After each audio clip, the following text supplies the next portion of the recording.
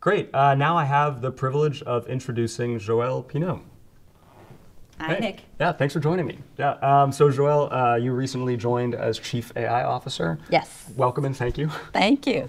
Uh, yeah, I was hoping we could just have a, a conversation about some rather broad topics, if that's if that's okay. Great. Yeah, great. Uh, so let's start with uh, where where do you see AI going, and what do you think Cohere's role is in that? Always a little hard to predict the future, especially given how fast AI has been moving. Um, but but if we look specifically about at agentic AI, Yeah. right? AI systems that can actually take actions on behalf of people. Um, right now, early generations of that technology are taking a relatively narrow set of actions. They're summarizing information, writing your email, synthesizing uh, from several sources to get you new insights, tool use, basic tool use. And so, as we keep progressing, the big challenge is to make sure that we're using more and more actions that really augment the space of things that the AI can help with. As the capabilities get more and more general, one of the challenge is to actually personalize, customize to the context, to the user, to the enterprise. And that actually has a lot of interesting challenges in terms of inferring what people want and then making sure that we live up to those expectations in terms of the behavior of the systems. Um, a lot of work also to make sure that as the space of action grows, you still maintain really high expectations in terms of privacy, confidentiality, security, all these things that really matter um, to North. Um, Beyond that, I think the interaction between all these agents is going to be super interesting. Uh, they're not trained to interact with each other necessarily, but that's what's going to happen once they're all out there. Yeah, that's a really exciting time.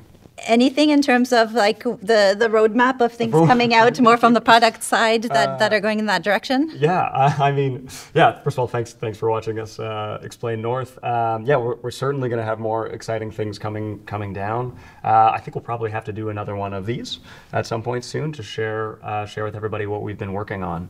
Um, yeah, but you can expect us to continue to making AI work better at work. Um, we're very excited about AI's potential and ability already to alleviate boring work from people. We think this is a fundamentally uplifting and augmentative technology, and so we need to keep making it better at helping you with your work. Uh, yeah, you talked about models and agents taking broader actions. I'm very excited for a time soon when I can go with a super open ended, multi step, complicated, uh, context dependent task, something like, hey, file my expenses or something, which requires understanding internal documentation, having access uh, to, to your receipts or something in a privacy securing way, and then figuring out how to actually do that, how to call an API to do that. So those kind of really broad, complex, multi step tasks that really require context and privacy. Uh, you could expect us to continue pushing north in that direction so that you never have to do those boring things again, frankly. Excellent. Yeah. Um, yeah. What are now, now that you're here? Um, what, what are your goals for, for working here and being at Cohere?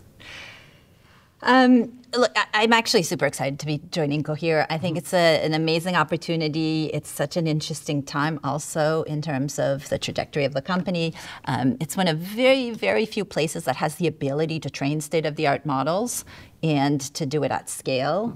That's super important today. Um, and the the deployment in enterprise and in government is one that I care a lot about, actually, in making sure that AI doesn't just sort of work in terms of you know academic benchmarks, but actually brings value to people.